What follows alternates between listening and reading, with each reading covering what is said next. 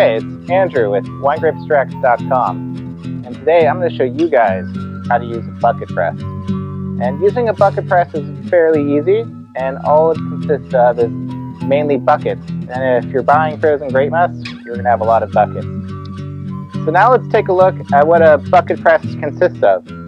And first thing you're going to need is one bucket beneath the press to collect your wine. And then you're going to need a bucket uh, with a lid on it. And that's so you can sit here and use this bucket to press down on the grapes. And it's a lot easier to use your own body weight. Um, so if you have any large friends, invite them over for this because you might get a better press. So use, you know, your force to press down on the grapes with your arms. And you guys are going to see all that. Um, so this part goes in right here.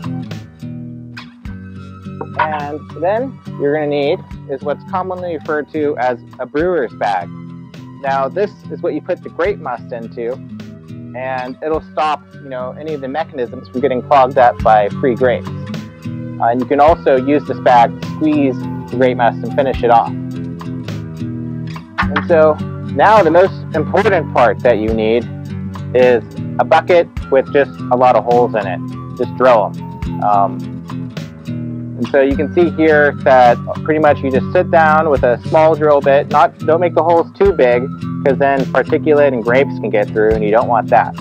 You just want it just big enough to give you a good flow. And just put a ton of holes in there from top to bottom. Okay, now you guys come in. If you take a look inside, you'll see a bunch of barrel plugs here. And you know, this is just my personal touch onto the bucket press. And the reason you want these in there is so that, um, you know, it allows more flow of the juice when you're pressing it out. Uh, so you have a pathway for the juice to get out if you put these in here. Another key component is to have a bucket with a spout. And so all of the wine is going to come out, it's going to build up here and come pouring out the spout. Um, and what's nice is that this gives you a controlled flow, so you can turn it off and on, and it juts out a little bit so that you can get into your bucket beneath to catch the wine. And the final thing you're going to need is just a raised platform so that this bucket can be above this bucket. And you know that's a fairly simple thing that you can find depending on your situation. Um, and I just happen to have one uh, right outside. Great.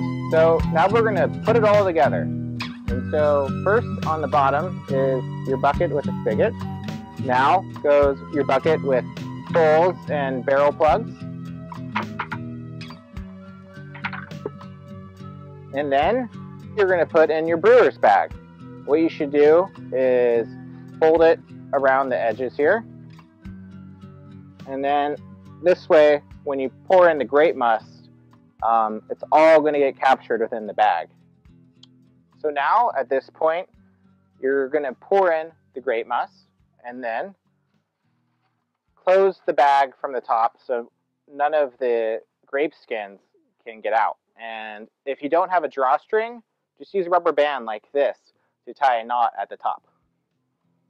So here's the final part of the bucket press. And surprisingly, it's a bucket. And you simply put it on top of here and apply pressure to force the juice out of the grape skins. So as you can see here, there's a cap. And before you go ahead and pour this in, make sure you break this all up so that the grape skins are evenly distributed. Otherwise, the cap could come out all at once and topple your bucket and spill some wine. So to break it up, I just use my hands, but yeah, you guys can use whatever you want. There we go, cap broken. So now you pour in the grape must.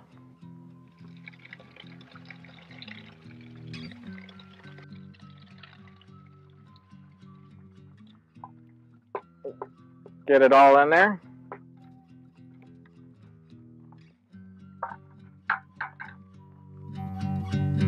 So now the grape must is in the brewer's bag. And I went ahead and did uh, three gallons just because I'm impatient. And now you just twist it up at the top and you get the rubber band over it and you just rubber band it like you would anything. Great, and so that is now secure. And I'm gonna put this bucket in here and we're gonna begin pressing off. Now we're gonna press down should probably just start with your arms here and lower the bucket onto the grape must and out it comes. Now it's time to sit on your bucket. And it again, this is it's just this simple, this easy.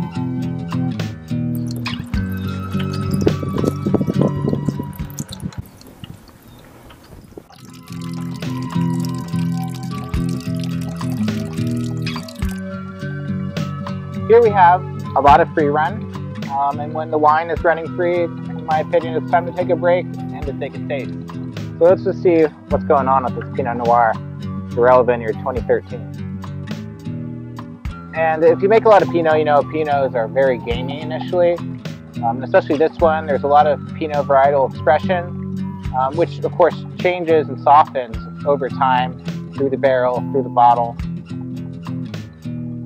you know, Pinot Noir is like an immature teenager or something. You know, it settles out later, even if it's super problematic initially. Let's take a taste.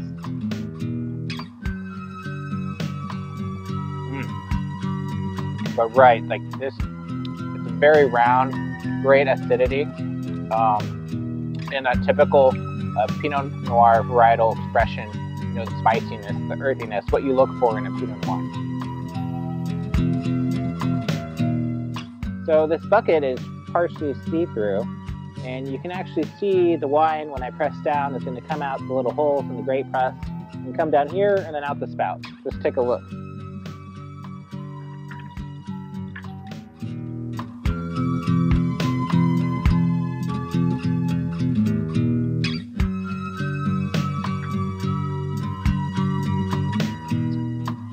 So we're now at the point where there's just a trickle coming out and one way that we can increase the flow is to uh, take out this main pressing bucket and use your hands to create more space uh, amongst the grape must because you see um, it's now pretty much compacted down.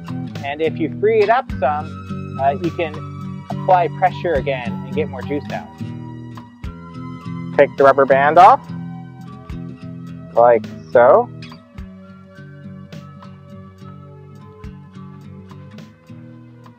Set that aside and then reach into your bag and you'll notice that it's highly compact, very, very compact. And you just want to free it all up again. Free it all up so that you can squeeze it once more.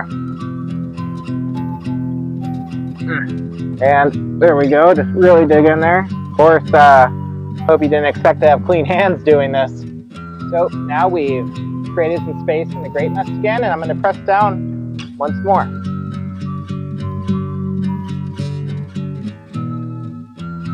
And you can see that it's helped increase the flow.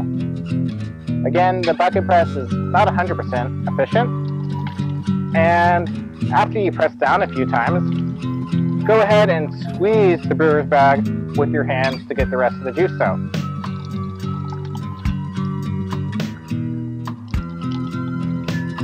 See, there's sometimes still quite a bit of juice in there.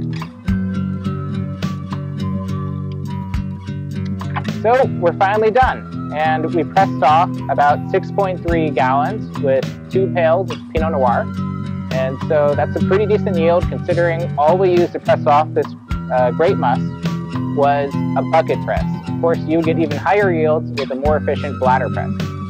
Um, yeah, and so now what we're going to do is we're going to put this wine up at a high place so that we can let it settle out and then use gravity to rack it into a glass carboy.